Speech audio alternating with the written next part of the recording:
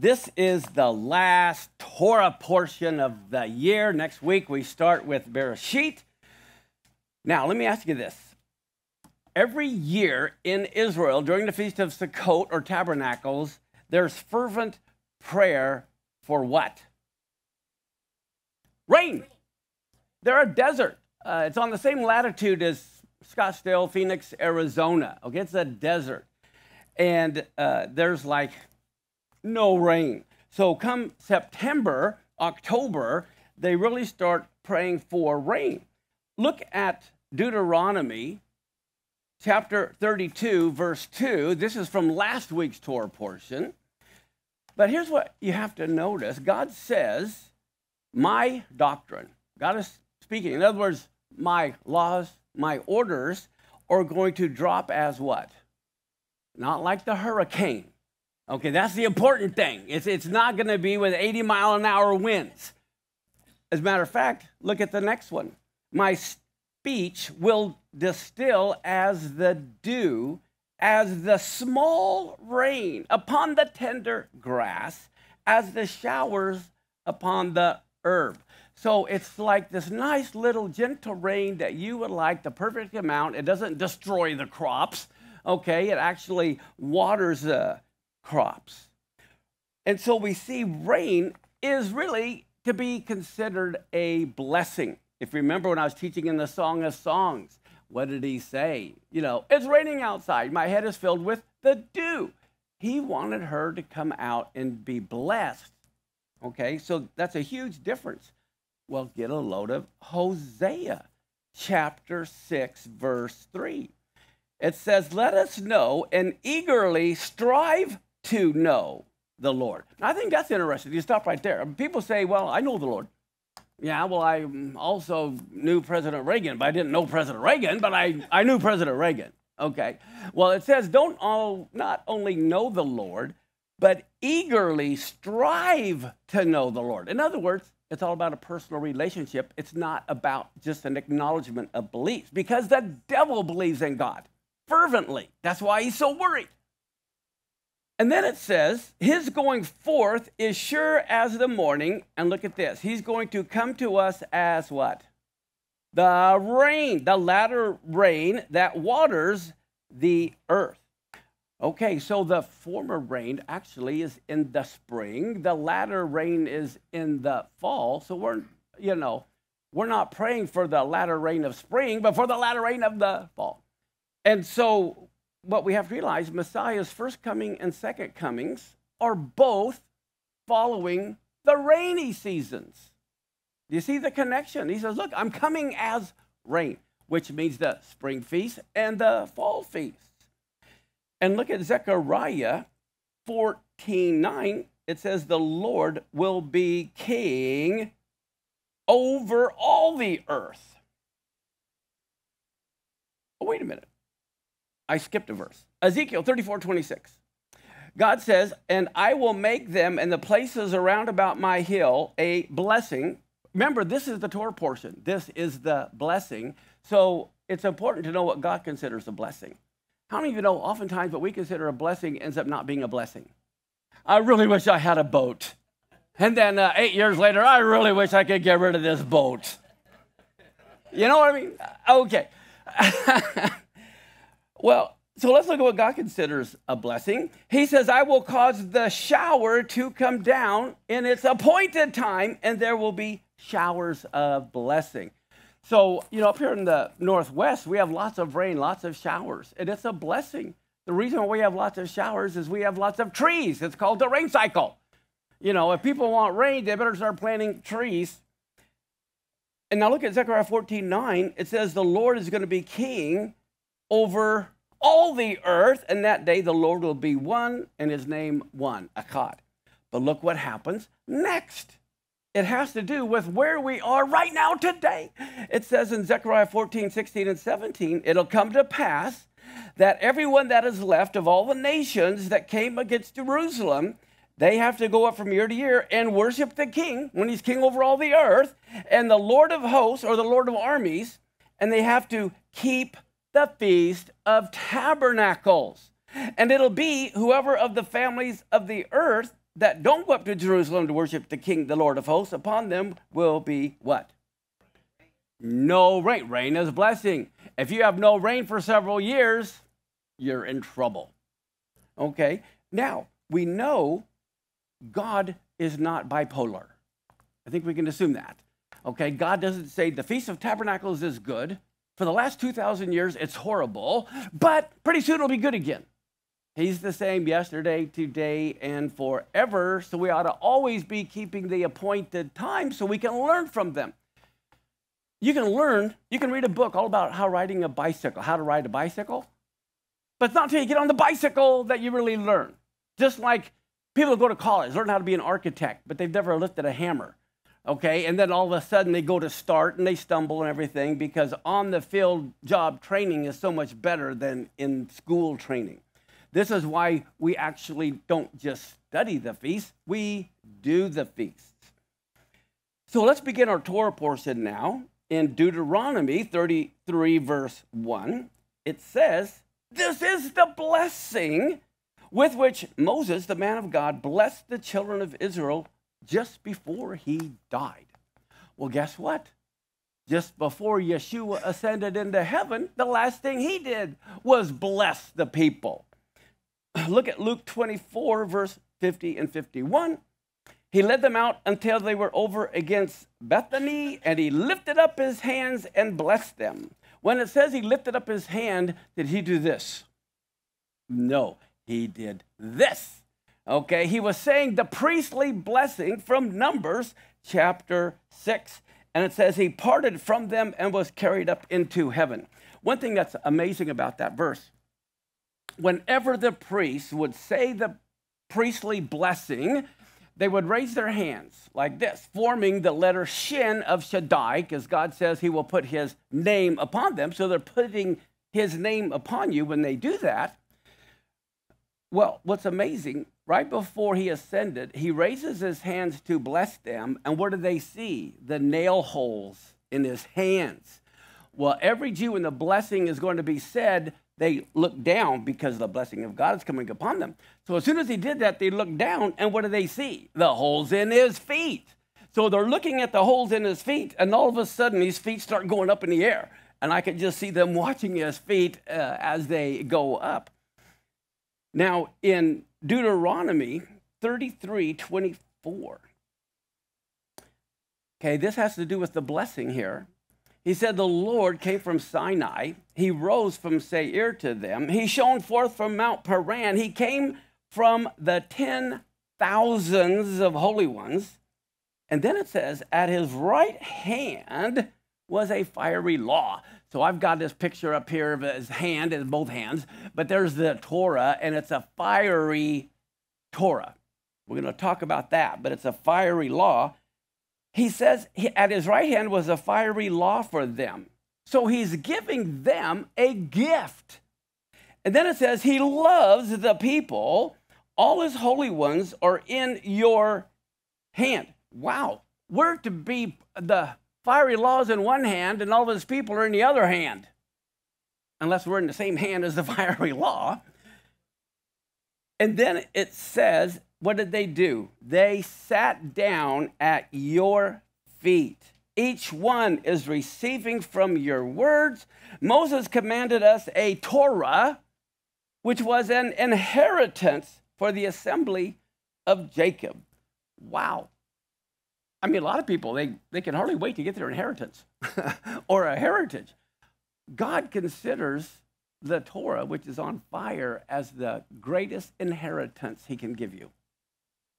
Think about that. This is your inheritance. Because God says, you know, basically, I'm here forever. I want to give you inheritance right now. And the greatest inheritance I have for you is my instruction. Why in the world would we want to throw out our inheritance? That just it doesn't make sense. So the law is considered a blessing, it says. It's a blessing. And it's a law that is given by the king and it is given out of love. Your inheritance, he says, is my Torah. Wow. And we know the word of God is forever.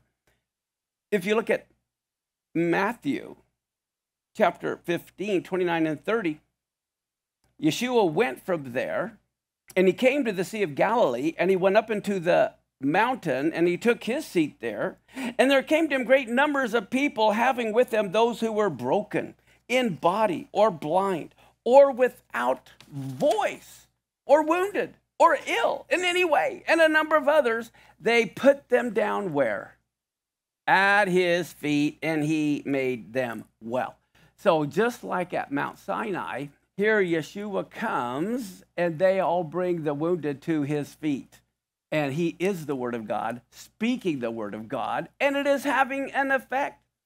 Now, at the end of Sukkot is Simchat Torah, which means rejoicing in the Torah. We're, we're commanded to rejoice all during the feast. Well, Shemini Atzeret, which I'll be talking about the second half, which is that eighth day, has very special meaning, and they celebrate Simchat Torah that same day in Israel, but it's a different day outside of Israel. So think about them. They're sitting down at his feet, and what is he doing? Teaching them, right? Look at John. If you remember in John chapter 7, it was the Feast of Tabernacles. And that's when he stood up and said, Yes, as the scripture says, if any man thirst, let him come to me, and out of his belly will flow rivers of living water, right? Okay. And in John 8, the very next day after the whole adulterous woman thing, or I mean, that's happening here in John 8, it says Yeshua went out to the Mount of Olives, and early in the morning he came again to the temple, and all the people came to him, and he sat down and taught them. Wow. Again, this is just like Deuteronomy. This is the blessing. Here he's there in the temple teaching, and people are sitting down at his feet and then what's amazing, this is the very day. If, uh, in chapter 7, it was the last day of the feast, which is the seventh day. This next day is the very day they're supposed to be rejoicing in the Torah, and the Pharisees bring the Torah to kill this adulterous woman. See, you, got to make the connection of what's going on. So he not only taught them from the book, he taught them as they watch how he handled that situation. Well, all of this was fulfilling a prophecy in Isaiah. Look at chapter 30, verse 20 and 21. It says, And though the Lord will give you the bread of trouble and the water of grief, you will no longer put your teacher on one side, but you're going to see your teacher. And in Hebrew, it's the Aleph Tav teacher, the beginning and the end. And at your back, when you are turning to the right hand or to the left, there will be a voice sounding in your ear saying, This is the way in which you are to go. Well, it's interesting. The title, the teacher, was actually a messianic title. They knew the Messiah came, they would call him the teacher because he would explain all of the riddles and the things that people didn't understand. In the Dead Sea Scrolls, it suggests also one of the messianic titles for the Messiah would be the teacher. Now, about his word, what does it say? In Jeremiah 23 29, is not my word like what? A fire. That's what it is. And so, this is why in Deuteronomy it says there was a fiery law, because the law is his word. And also, it's like a hammer that breaks the rock in pieces. So, what we have to see though, look at Proverbs 6 23. The commandment is a lamp, and the law is what? A light. That's why it's a fiery law. It's bringing light. Then we see in Deuteronomy chapter 33, verse 5, God was king in Yeshurun. Now, Yeshurun is a nickname for Jacob, Israel, and it means blessed. This whole book or chapter is about the blessing, and he's a blessed one. It says, when the heads of the people were gathered, and all the tribes of Israel came together. Well, at Sukkot, that's when everyone has to come together. But let's look how this verse goes on in verse 13 through 16. What he's doing, he's blessing every one of the 12 tribes.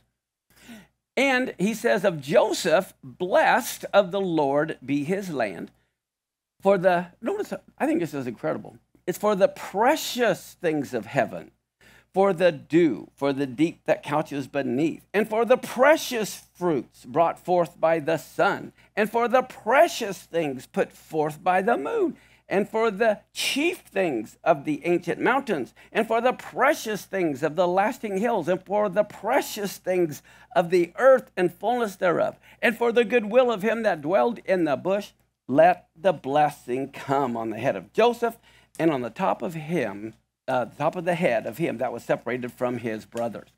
I think it's fascinating because Yeshua also was separated from his brothers. In John 7, they didn't believe in him, okay, concerning his literal physical brothers, and then also his brothers, the nation of Israel. A lot of them rejected him as well. Now, here's something that is really amazing in light of what happened this year. And it goes exactly with my book, America at War. Tishri begins with what day? The first, but the first of Tishri is Rosh Hashanah. And what does Rosh Hashanah mean? I can't hear. Rosh. What is Rosh? Head. Hashanah, the year. That is so important, the wording. Words mean something. It means the head of the year, not necessarily the, I mean, it is the first of the year, but more important than the first, it's the head of the year. It's not just the beginning of the year, it is the nerve center of the year. It is always a harbinger of what is coming. Okay, it's the head. Think of the head, not the foot. And this year, on Rosh Hashanah, Iran shot all these ballistic missiles at Israel, which is telling you we're entering a year of the war cycle. There's a time for peace and a time for war. And I'm telling you, this year, what we're in right now, we're going to see war like we've never seen before because it was triggered on the head of the year, the nerve center. So you need to be thinking about that. Rosh Hashanah is the head of the year spiritually, and Yom Kippur is the heart of the year. Okay? Now, in Deuteronomy 33 26 to 29, it says, There is none like God, Yeshurun. He rides on the heavens for your help, in his excellency on the skies. The eternal God is your dwelling place, and here it is. Underneath are the everlasting arms. How many of you want to be there? Okay. He thrusts out the enemy from before you and said, Destroy. Israel dwells in safety, the fountain of Jacob alone, in a land of grain and new wine. Yes, his heavens drop down dew. You are happy, Israel. Who is like you, a people saved by the Lord, the shield of your help, the sword of your excellency, your enemies will submit themselves to you, and you are going to tread on their high places. And then here's a little picture of this next verse. I'm just going to see where I'm at. Yeah. Who knows where this is? I've been there. Anyone else? You been there? This is the exact spot where Moses looked into the promised land before he died. This is Mount Nebo. I took this picture when I was there, and it kind of shows you where Hebron is, what direction Bethlehem is, Ramallah, Nablus, Jericho, okay, type Sea of Galilee. But from this spot, it tells you how far away all these different places are. And so you can kind of look at exactly everything Moses saw. Nothing's really changed here since then. It's amazing. And it says in Deuteronomy 34 1 that Moses went up from the plains of Moab to Mount Nebo, to the top of Pisgah, which is across from Jericho. This is it. My frustration is always cloudy. I wish I could. It's kind of like here, comets go by and everything. We can't ever see anything. But look at verse 4 and 5. The Lord says to Moses, Hey, this is the land of which I swore to give to Abraham, Isaac, and Jacob, saying, I will give it to your descendants. I've caused you to see it with your eyes, but you're not crossing over. And so Moses, the servant of the Lord, died there in the land of Moab according to the word of the Lord. And then verse 6 and 7, it says, He buried him in a valley in the land of Moab over against Beit Peor. And no one knows of his sepulchre to this day. And so Moses was 120 years old when he died. His eye was not dim, and his natural force, nor his natural force abated. Why do you think no one knows of where his sepulchre is or where he's buried? They'd make a god out of them and create a, you know, yeah. So that's why. Now look at verse 8 through 12. So the children of Israel wept for Moses for 30 days, and when the days of mourning for Moses ended, Joshua the son of Nun was full of the spirit of wisdom, for Moses had laid his hands on him. So the children listened to what he said, did as the Lord commanded. But since there has not arisen a prophet like Moses since then, who the Lord knew face to face, in all the signs and wonders which the Lord sent him to do in the land of Egypt, before Pharaoh, before all his servants, and in all his land, by all that mighty power and all that great terror which Moses performed in the sight of Israel. Okay, so the Jews have always been looking for a Messiah that would be a prophet like Moses, right? That's what this is saying. Well, what's amazing, Moses wrote the Word of God, which is Yeshua's words. Okay, so why would Christians think Yeshua is going to change his own word? He wouldn't be the prophet like Moses. Now, the Haftorah portion, which means a portion of the prophets that ties into this Torah portion, is this is always read during Sukkot. Why? The events are supposed to happen during Sukkot. Make connections here. Ezekiel 38 39, along with Zechariah 12 through 14, have been the Haftorah portions during the Feast of Tabernacles. Could these be implications of when these victories will take place? Gog will come against Israel during the feast of the seventh month. Now look at Ezekiel 38 1 through 3. And the word of the Lord came to me, saying, Son of man, set your face against Gog, the land of Magog, the chief prince of Meshech and Tubal prophesy against him and say, Thus saith the Lord God, Behold, I'm against you, O God, the chief prince of Meshech and Tuval. Well, look at Deuteronomy 22 8. When you build a new house, you should make a battlement for your what? Guess what? The Hebrew word for roof is Gog. Gog means roof. We're going to talk about that in a minute. But if you remember, what did Israel do? What does Israel do every Sukkot? What do they do? They sacrifice 70 bulls. Why do they sacrifice 70 bulls? The 70 nations of the world. Well, guess what? Magog and Gog, I have the numerical value underneath equals 70 because Gog Magog refers to all the nations that are going to come against Jerusalem. That's what Gog Magog means. But it also means a roof. And so what happens? We are to be living in a sukkah during Sukkot, whereas everyone else wants to have this big roof. They can't see the heavens. They can't see God. It protects them from God's hail and rain and everything else. So what this really is, the Gog and Magog war, is going to be a war between those who seek God's protection versus those who seek man made protection. That's what this season is all about. How many of you would like to be living in an 18 story high rise when the big earthquake happens? Or would you rather be outside in your little sukkah? That's the place to be when everything is falling over. Okay, so what this is about the battle of the strong house with a prideful roof against the humility of the sukkah with its weak, unstable covering. The whole history of mankind consists of this contrast. Is our security found in what we can build, or is it in trusting God? So we see in Ezekiel chapter 38, 18 through 20.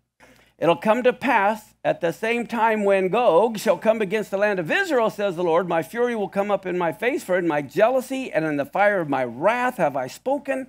Surely in that day there will be a great shaking in the land of Israel. The fishes of the sea, the fowls of heaven, the beasts of the field, and all the creepy crawlers, and all the men that are upon the face of the earth will shake at my presence. The mountains will be thrown down, the steep places fall, every wall will fall to the ground. And it's going to happen during Sukkot. And do you want to be in your sukkah or in your house when every wall is falling to the ground? And then we see in Ezekiel 38, 22, and 23. I will plead against him with pestilence and blood. I will rain upon him and upon his bands and upon his many people that are with him, and overflowing rain, great hailstones, fire, brimstone. Thus will I magnify myself, sanctify myself, and guess what? Then I will be known in the eyes of many nations, and they're going to know that I am the Lord. This is just like Egypt. He says, Then Pharaoh and all of Egypt will know that I'm the Lord when I do these things. And then Ezekiel 39, 17 through 21, he says, And you, son of man, thus says the Lord, speak to every feathered fowl, every beast of the field Assemble and come gather yourselves on every side to my sacrifice that I'm sacrificing for you, even a great sacrifice on the mountains of Israel. And he says, You get it. Come to the wedding supper of the Lamb.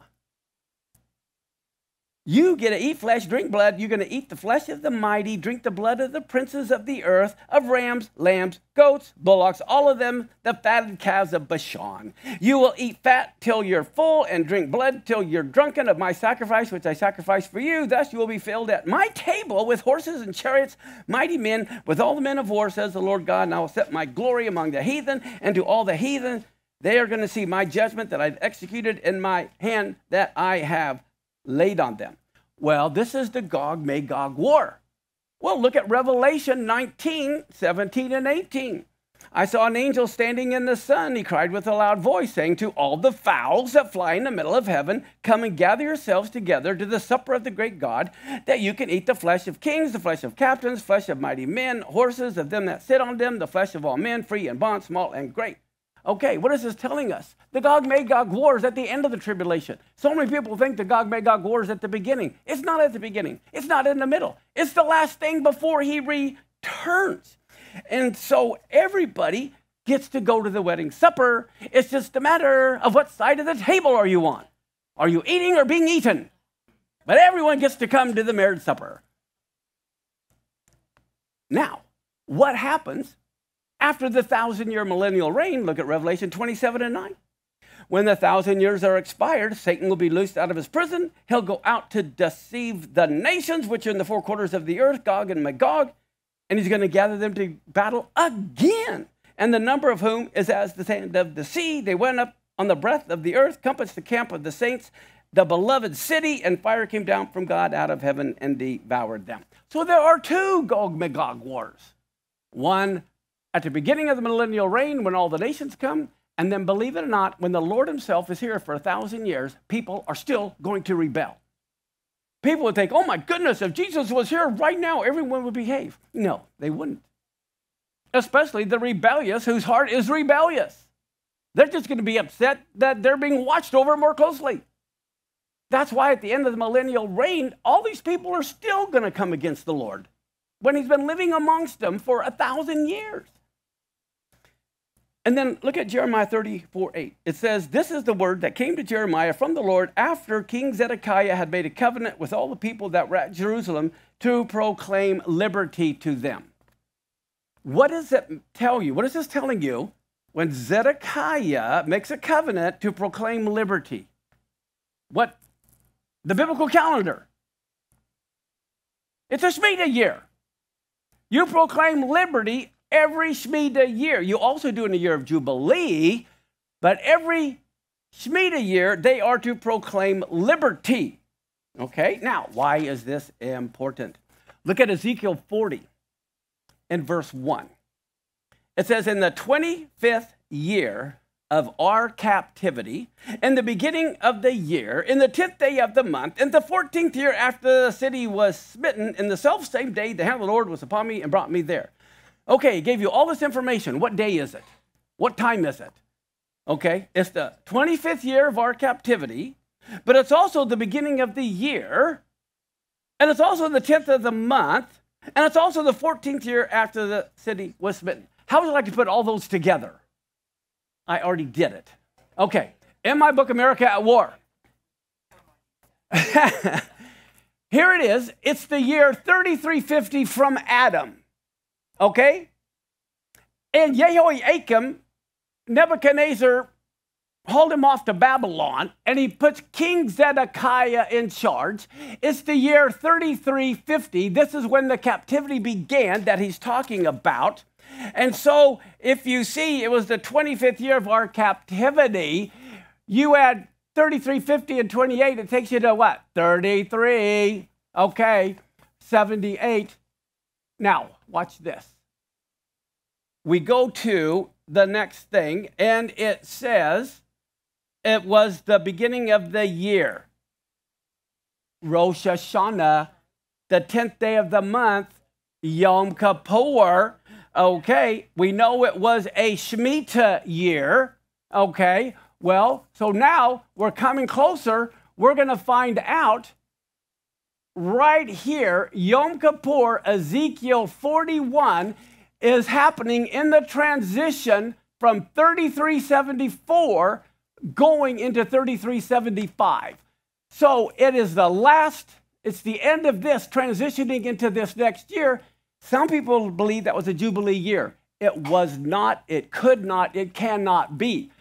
Okay? So here it is. It's in a Shemitah year. He's proclaiming the year of liberty at the end of it, going into the year 3375. And you'll find out it was the 14th year after the city was smitten. And the temple was destroyed in 3361. You add 14, again, it takes you to 3375. So all of these point to Yom Kippur going from 3374 into 3375. This is the Jubilee year, 3382 from Adam, uh, which is like 379, 378 BC. But I just wanted to point out it wasn't a Jubilee year. Okay, so Joshua 1 1 through 3, it says, After the death of Moses, it came to pass, the Lord spoke to Joshua, and he said, Look, Moses is dead. You get up, go over the Jordan, you and everyone else, to the land I'm giving to them. And so the children of Israel, uh, every place the sole of your foot will tread, I've given you, as I said to Moses. And so here we have in Joshua 1 6 through 9, be strong and courageous. You are going to cause these people to inherit the land that I swore to give them. Only be strong and very courageous to observe to do all of the law which Moses, my servant, commanded you. Don't turn from it to the right or to the left, that you can have good success wherever you grow.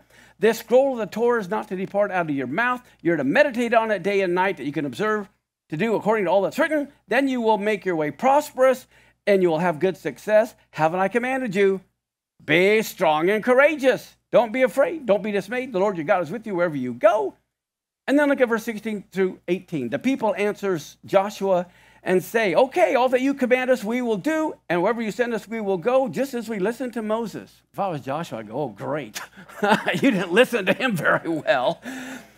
But then it says, Only the Lord your God be with you, as he was with Moses. Whoever rebels against you, uh, against your command, and doesn't heed your words and all that you command him, let him be put to death. Only be strong and of a good courage. So now, since we're at the end of the Torah, we always begin again by reading the verse of Genesis that we will pick up next week. In the beginning, Elohim created the heavens and the earth. And lastly, we close, since it's the end of the book, with these words. So let's all stand and let's say this together. Chazak, Chazak, knit Kazakh. Be strong, be strong, and may we all be strengthened. Amen. Okay, so now everyone who has a lulav and a netrog, come on up. We're going to do this ceremony, then we'll take a break. Come on up, anybody with lulavs or etrogs.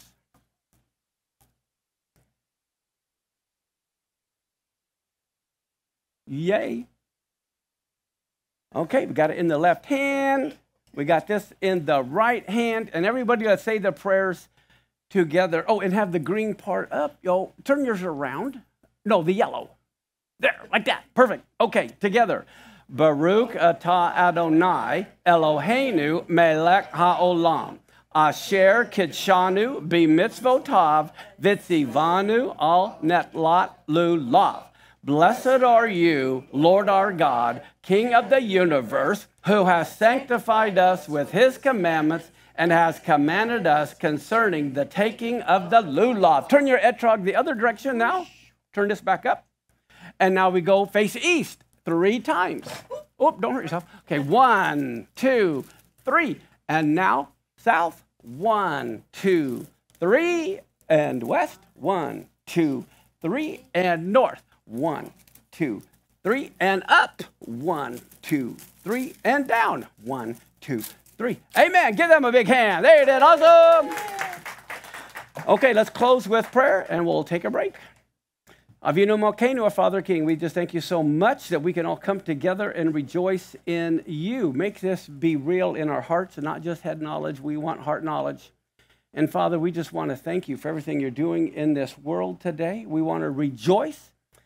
And we just thank you for all of those who help take your Torah, magnify it, make it honorable once again. We just thank you for all those around the world, around the United States that are, and here locally, Father, that are bringing tithes and offerings in to help you succeed in what you want done. In Yeshua's name, amen. Together, blessed are you, Lord our God, creator and king of the universe. You have blessed us with your Torah of truth. You have blessed us with the whole counsel of your living word by the power of your Holy Spirit through the completed work of Messiah Yeshua. You alone have planted among us life eternal Blessed are you, Lord our God. we are going to talk about Shemini Atzeret. And Shemini is the number eight. And Atzeret means assembly. They were, after the seven days of Sukkot, they were required to assemble on the eighth day one of the things that's interesting is here's how the eighth day is likened to. It's like, let's say you have a big party and you have your really close friends or really close relatives come along with this big group of people, and you have this big party, and the party's over, everybody leaves, and you've got this big mess to clean up, uh, you know, or you just want to take your breath and you invite some very close ones to stay that extra day that you can just fellowship with them away from all the crowds and it's more personal, more intimate. Uh, Shemini Atzeret, that day is what that is. It's like it's for all the nations, and then all the nations go home, and then his people stay there, and they build on that close relationship. That's what this is all about. The other thing is, what does the number eight signify? New beginnings, just like your octave in music you go back to the beginning, uh, one sense, or it is a new beginning, it's a new era. As a matter of fact, Noah was the eighth person to step off the ark. Okay? Every, just like the captain of the ship is the last one to get off. There were eight on the ark, and he was the last one. He was the eighth person to get off the ark. Now, look at Second Peter chapter 2 verse 5 it talks about how God did not spare the old world but saved Noah the eighth person a preacher of righteousness bringing in the flood upon the world of the ungodly. When it says the eighth person that means the eighth one to get off of the ark. Now circumcision was always on the eighth day. And what was the importance of that? Well look at Genesis chapter 17 verse 12 he that is eight days old will be circumcised among you, every male child in your generations, whether he's born in your house or bought with money of any stranger which is not of your seed. Okay, so what does that mean? The circumcision of the flesh. What does that speak of? Well, that was foreshadowing of the true circumcision of the heart that everyone has to go through. And it's that circumcision of the heart which was made without hands. Even the putting off of the body of the sins of the flesh by the circumcision of Messiah. Look at Colossians chapter 2, verse 11. For in Messiah dwells all the wealth of God's being, has a living form, and you are complete in him, who is the head of all rule and authority.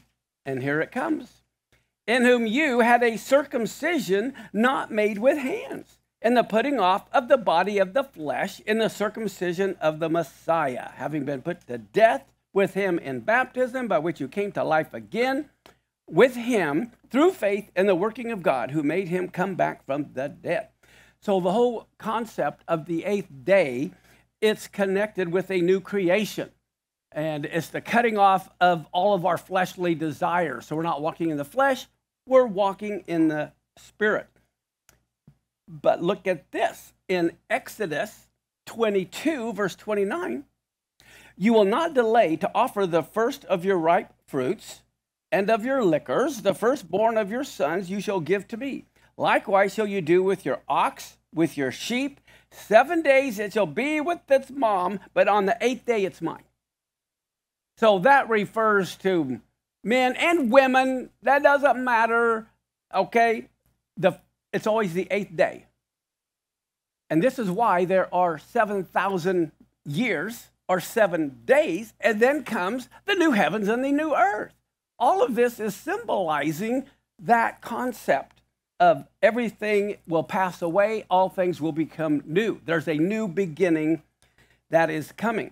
As a matter of fact, any mathematicians out here? Eight is the first cube. Two times two times two. Of course, you have one times one times one, but eight is basically the first cube where the length and the breadth and the height are equal. This is significant because the significance of the cube is seen in the fact that the Holy of Holies, both in the tabernacle and in the temple, were cubes. In the tabernacle, it was a cube of 10 cubits. In the temple, the Holy of Holies was a cube of 20 cubits. If you look at 1 Kings 6 19 and 20, it says, The oracle he prepared in the house within to set there the ark of the covenant of the Lord. And the oracle in the forepart was 20 cubits in length, 20 cubits in breadth, 20 cubits in height. He overlaid it with pure gold and so covered the altar with cedar. So the number eight, what's interesting, when you look at the gematria, notice that if you take all the names from Adam down to Noah and then his son Japheth, who was the oldest, it comes up to 3168, which is divisible by 8. If you take the sons of Noah, including Ham, you get 936, which is divisible by 8. But if you get rid of Ham, because he was the one that ended up being cursed, you get 888. Okay, so the number eight, if you go to Cain's line, it's all 13. Rebellion, rebellion, rebellion. Everything, there's, there's 13 and 8 contrasting, always in the names of those who are rebellious and their generations and those who are holy. Now, as I said, a cube of one was the window of the ark, a cube of 10 was the Holy of Holies in the tabernacle, a cube of 20 or 8,000 cubits was the temple, and a cube of the New Jerusalem in Revelation is 172 billion 800 million cubits. Okay, that's the New Jerusalem that is coming. Uh, look at Revelation 21, verse 14 through 17. The wall of the city had 12 foundations, in them the names of 12 Christian churches. Oh, no, no. 12 popes. Nope, not 12 popes. 12 apostles. And he, taught, he that talked with me had a golden reed to measure the city and the gates and the wall. And the city was four square. And the length was as large as the breadth. And he measured the city with a reed, 12,000 furlongs. The length and breadth and height are equal. It's a cube, divisible by eight. And um, though, like I said, the window in Noah's ark, if you look at Genesis 6 16, It says, A window you shall make of the ark, and it in a cubit shall you finish it. So it's just like a cubit by a cubit by a cubit. Now, if we look at Leviticus, am I already on Leviticus? Boy, this is going faster than I thought. I got to slow down.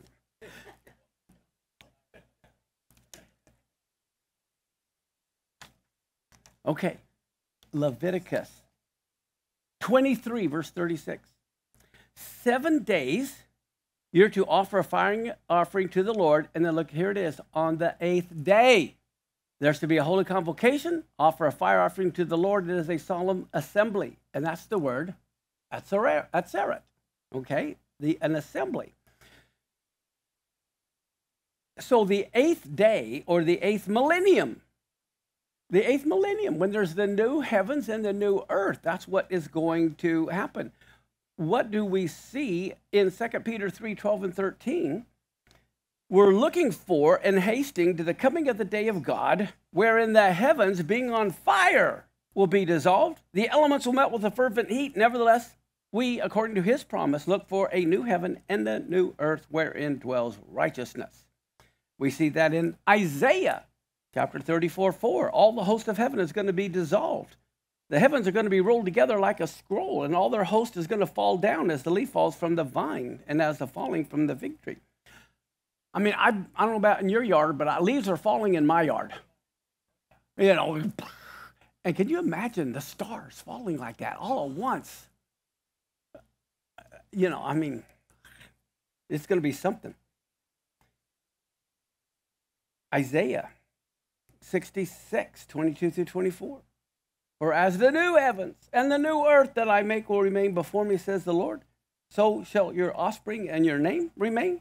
From one new moon to a new moon, and from Sabbath to Sabbath, all flesh will come and worship before me, declares the Lord.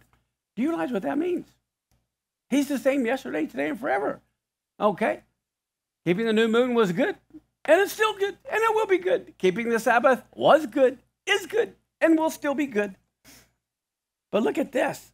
That means every month and every week, all flesh is going to come and worship before the Lord, and they get to go look into hell. Uh, they look at all the carcasses of the ones that have transgressed against me. Their worm won't die, neither will their fire be quenched, and they will be in abhorring to all flesh. That is because we have a free will still.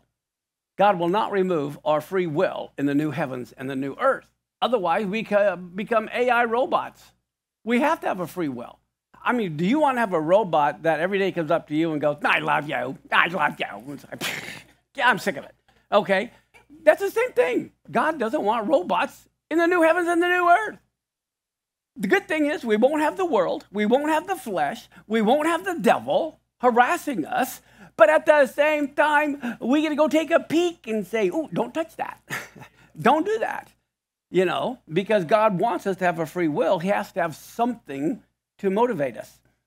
Now, look at Isaiah 25 8. He will swallow up death in victory.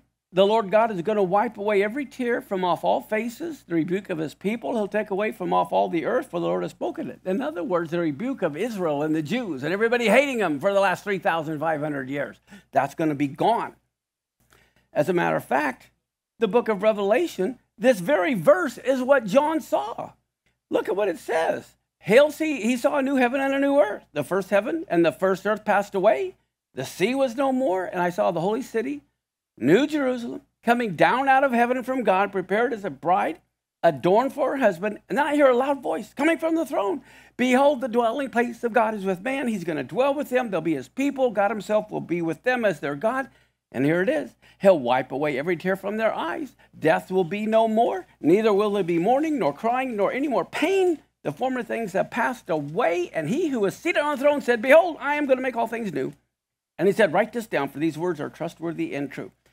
When God says something, especially when he raises his hand himself and swears something's going to happen, it's going to happen. And this is where we see how temporary life is. People pass away all the time. You know, buildings pass away, uh, everything passes away. But can you imagine the entire earth is going to pass away and all of the heavens are going to pass away? And then he's going to create a new heaven and a new earth. To me, that is just mind boggling. And in one sense, I can hardly wait. But now let's look at Ezekiel 38, 1 through 3. And the word of the Lord came to me, saying, Son of man, set your face against who? Gog in the land of Magog, the chief prince of Meshech and Tubal. Prophesy against him and say, Thus says the Lord God, I'm against you, O Gog, the chief prince of Meshech and Tubal. Okay. A quiz, a test. I'll give away a prize if somebody knows the answer, but I don't think anybody does. So I'm saying, who was Gog? Who did Gog descend from?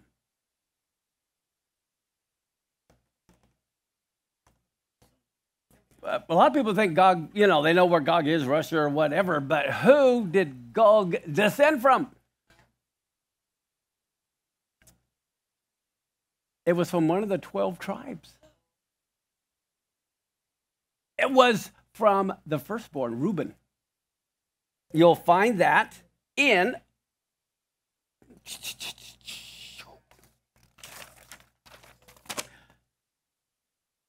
Oh. Oh, I didn't put it down. I can't believe that. Oh, yeah, First Chronicles 5. I did have it down. It was in First Chronicles chapter 5 where it lists the descendants. You'll see Gog descended from Reuben. And what's fascinating, Reuben didn't want to go in the promised land. He wanted nothing to do with the promised land. Remember? Reuben didn't want it. He stayed over in Assyria, that, that whole area. And I thought, wow, that's what you get for rejecting the promised land. I just thought that was fascinating. You might want to know who or where Gog came from. And as I said earlier, look at Revelation 20, 7 and 8. It says, When those thousand years are expired, Satan will be loosed out of his prison. He'll go out to deceive the nations which are in the four quarters of the earth, Gog and Magog, to gather them together to battle, the number of whom is as the sands of the sea. Okay, well, after the thousand year reign, there's going to be a whole lot of people born in a thousand years, and people are going to live a long time. And it's amazing. Again, Gog and Magog total the number 70, and 70 means all nations. And so, this is why all the nations from the four quarters of the earth are going to come again at the end of the millennial reign. Now, here in Deuteronomy 22 8 it says, when you build a new house, you shall make a battlement for your roof. And what is the Hebrew word for roof? Gog. Exactly. And so, as I said, it is the battle of the strong house against the little sukkah. That's right there. This is a battle of those who are going to trust in what man builds versus trusting in what God builds uh, here we have the humility of the sukkah with its weak, unstable covering. And so the battle of the strong house has to do with pride versus the humility of the sukkah. Now, Gog represents the philosophy that man can insulate himself against the heavenly power of God. That's what Gog is. It's roof. It means you, it's a philosophy that you think you can shield yourself from what the heavens do. Magog, adding the mem in front, that means it's those who attempt to project this philosophy on earth. Okay? It's like the school system. so, Gog, Magog are the forces of evil who are intent on destroying the people of God. I don't know if you heard, but someone uh, at a Kamala Harris rally yelled, Jesus is Lord, and then immediately she started bad mouthing Christians. Just interesting. I'm not saying who to vote for. Okay. Um, in Habakkuk chapter 2 and verse 14, it says, the earth will be filled with the knowledge of the glory of the Lord as what? The waters cover the sea. Wow. So the knowledge of the Lord is going to surround the whole world. And this is what's important. Back in Egypt, Israel is leaving Egypt. They had to make the choice to embrace freedom over having their government supply their basic needs, breaking the chains of government control over their lives. They got free the leeks, the onions, the garlic, the cucumbers. They don't mind that all their children were thrown in the Nile. We want our government subsidy. And then when they got to the wilderness and they weren't supplied with all those things, they want to go back. There are a lot of people today that just want a basic income from the government and they can control them and they're happy. We're facing it's the very same time that we are in right now. This was a turning point in the history of Israel, and this, I believe, is the same choice America right now is facing. Now, God well remembered that first night. Our perspective is our building of a shelter, but the other is God's willingness to provide His glory cloud to shelter us. When you think about it, Nisan, the Feast of Unleavened Bread, is what day in Nisan? Nisan 14 is Passover, Nisan 15, which is a full moon, and Sukkot begins on Tishri 15, exact opposites, six months apart. These are complete opposites Passover and Sukkot. Well, because God does not want us to see the blessings we have as being a result of our hands, Sukkot is the feast of ingathering when we may think it was the work of our own hands, and now we are safe and secure. But we have to realize it is only trusting in God. Sometimes when we get free at Passover and then everything goes great, Sukkot comes along living in the sukkah to remind us in our blessings, we're not the ones that brought this. God brought this. That's what's so important. That's why they're the opposite. One is you get free, but the other one is you're so blessed, you better not forget who freed you. In Deuteronomy 18, verse 15 through 18, it says, The Lord your God is going to raise up to you who? A prophet from the midst of you, of your brothers, like me. You're going to listen to him, and this is according to all that you desired of the Lord your God in Mount Sinai or Horeb in the day of the assembly, saying, Let me not hear again the voice of the Lord my God. We don't want to see this great fire anymore that I not die. Can you imagine? This was, I think, the biggest error in all of Israel's history when they said, We don't want to hear directly from God, we just want to hear from Moses. And to this day, I think that's a problem. They, they don't want to hear from God. They want to read the Talmud and all of what the rabbis say, what Moses say, but that's going to change. And it says, They have well said that which they have spoken, so I'm going to raise them up a prophet from among their brothers like you, Moses, and I will put my words in his mouth, and he will speak to them all that I shall command him. This is why Yeshua said, I only speak what the Father tells me. There are some Christians today, well, we only do Jesus' commands, we don't do Father's commands. Well, he only spoke what the Father said. And now, so all of Israel was looking for the prophet that was prophesied by Moses. We'll look at John 7, verse 37 through 40. It says, Now on the last and greatest day of the feast, this is the Feast of Tabernacles, Yeshua stood and he cries out, If anyone is thirsty, let him come to me and drink. He who believes in me, as the scripture said, from within him will flow rivers of living waters. And so I got this river of living waters. And then it says, But he said this about the Spirit, which those believing in him were to receive, for the Holy Spirit was not yet given, because Yeshua was not yet glorified. But look at this. Many of the multitude, when they heard these words, said, This is truly the prophet. They were referring back to Deuteronomy. They said, This is the one that Moses was prophesying about. Okay. And he's talking about living waters. And as I said the other day, what are they doing in September, October during the Feast of Sukkot? They're praying for the rain because there hasn't been any rain at all for months. So here they are praying for the living water. And this is during the Feast of Tabernacles. Yeshua stands up and says, I am that living water. And then look at John 8, 6 through 8. The very next day, Shemini Atzeret, Simchat Torah, they said, testing him, that they might have something to accuse him of. But Yeshua stooped down, wrote on the ground with his finger.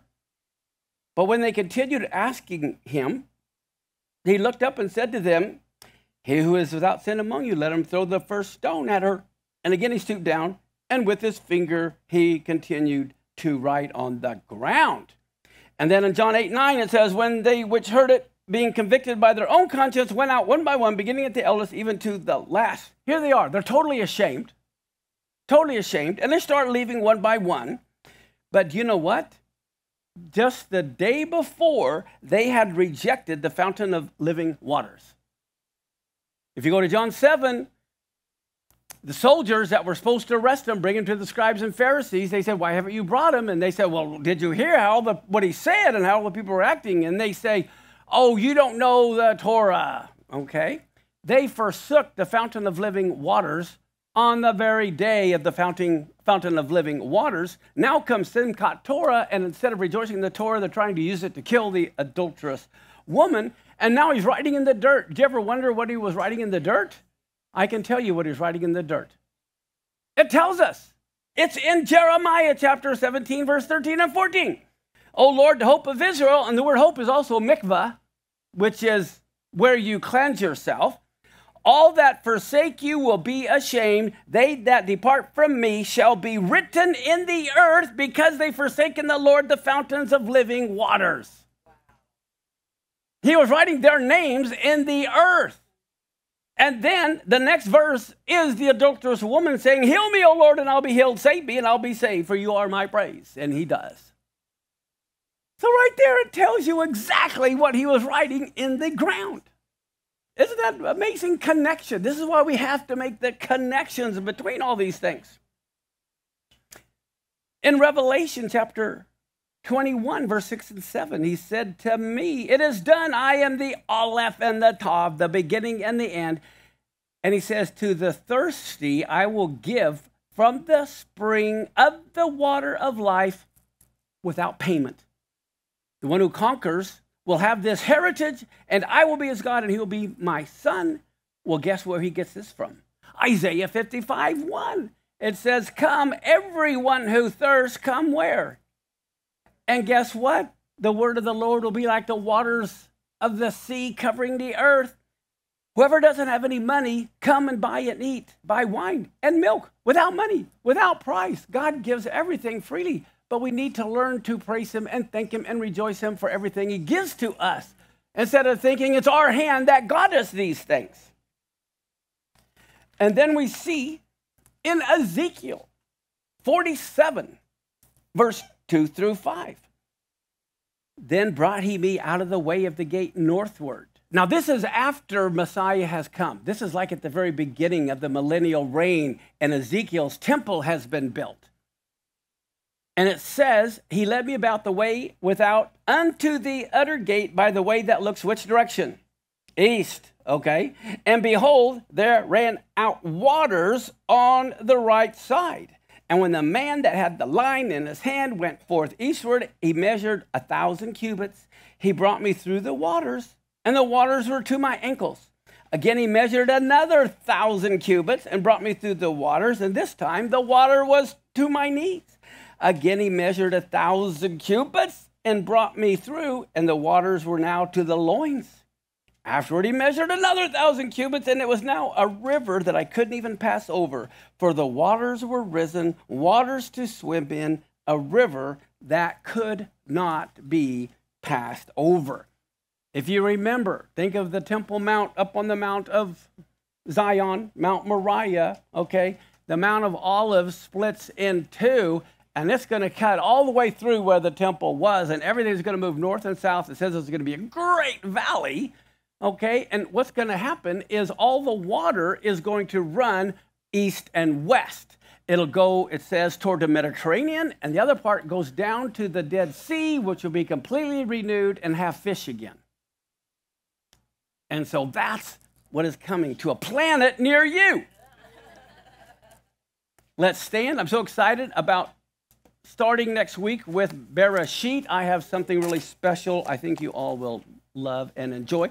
Don't forget, if you want to go and come back, or we have the big barbecue party coming up after the second service.